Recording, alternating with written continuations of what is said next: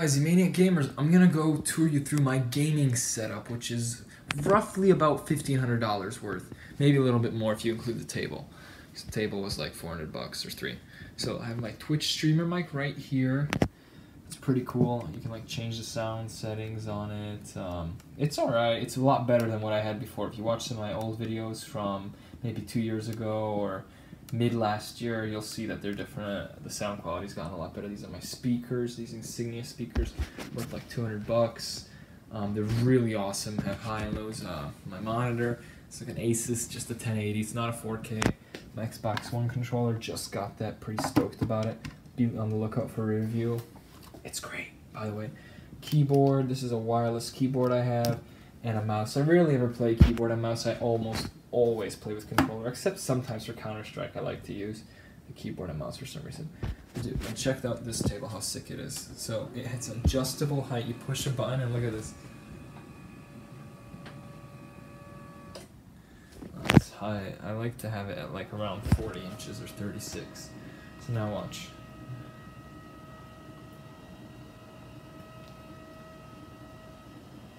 Okay, now that it's good, so I don't actually hit a button, I push this lock, and now it won't move. Cool, right? And now if I unlock it, it'll move again, see? So let's lock that. Alright, also has like USB ports on the side to charge your phones. I keep my stuff in here, headsets, my quick guide to the Turtle Beach thing, because that's just awesome. Alright, cool, cool. This table is all glass and metal. It's pretty sick. Um, now what you guys are really here for, the PC. Now this PC is pretty nice. Here it is. I got MSI gaming motherboard. I have a 1060, just a regular 1060. It's not the super overclocked or the, it's not the 6 gig, it's just the 3 gig card. And here I have an AMD FX 8350 processor with 8 gigs of RAM. So this top here is 500 gig and I have a 2 terabyte RAID actually in here uh, SSDs. So that's pretty sick. And I have a DVD ROM which a lot of people don't have so that's cool. Let's look back. Here we go. Just some ports, HDMI ports. It looks pretty sick with the lights. I personally like to have more blue on it. It's just me, but it has a lot of blue in the front look. Look how cool this looks. Yeah. Awesome. Alright, let's take off the side and take a look inside. What's nice about this case is it has uh, these screws on the side so you can just screw it off. It doesn't require, that's like the whole case's design, is it doesn't require any um, any screwdrivers. Just pop that off. Cool, and then you push, you pull on it on the side, push like that. Here we go. These are my SSDs, graphics card, power supply, LED gaming, fans, you know, and then there's the processor. It's pretty sick. It actually doesn't get too hot, which I'm kind of happy for. It's an AMD product. I do like their processors. I used to have a R9 270X and I just really hated that card. So this card runs super great. I can actually run a few games at 4K on it. It's pretty amazing. This PC uh, probably costs around like, it was like 1200 easy. Especially when we bought the SSDs, they were like a lot more expensive. They were like 500 bucks per terabyte or something like that. So just the SSDs alone cost us like a thousand. and then the graphics and all those upgrades and everything. So price breakdown of this real quick to prove that this is a $2,000 setup. This is a $75 mic. These are $200 speakers. Um, this is a $70 keyboard. This is like a $100 HD, like 27 inch monitor. This table is like 350 um, HDMI cables. I'm kidding. I'm not gonna go into that. I have. Um, we paid 20 for the HDMI's. No, we didn't.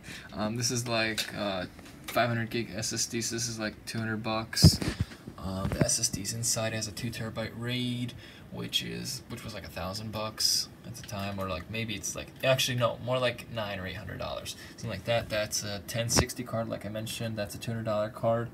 That motherboard and chipset combo is like 250 or 300, and yeah, that power supply is like 50 bucks, and the lights are like a few dollars here and there, and then the case is another 50 bucks.